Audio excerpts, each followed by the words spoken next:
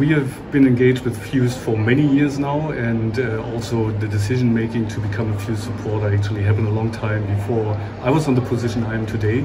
Uh, but as far as I remember, we wanted to get in closer contact with the industry, with the pharma, with the biotechs, but also with the CEOs and the other software vendors to see uh, that we can learn from each other to uh, exchange experience and to bring the industry as a whole forward.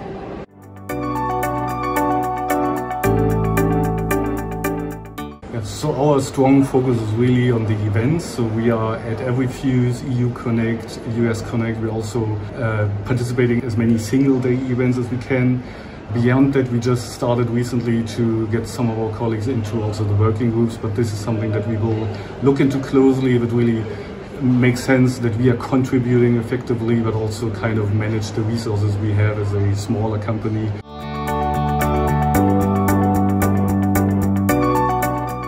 Well, for us, this is definitely improving visibility for us as a uh, software solution provider for the pharmaceutical industry, getting in touch with the pharma companies, CEOs and biotechs to also advertise our offers. And um, being an exhibitor at PHUSE is definitely one very important thing to do so, but also all the sponsorship items are very helpful. There's always this wonderful race for the lanyards, which we try to win every year and we succeeded again. And this is, I think, a perfect example of visibility.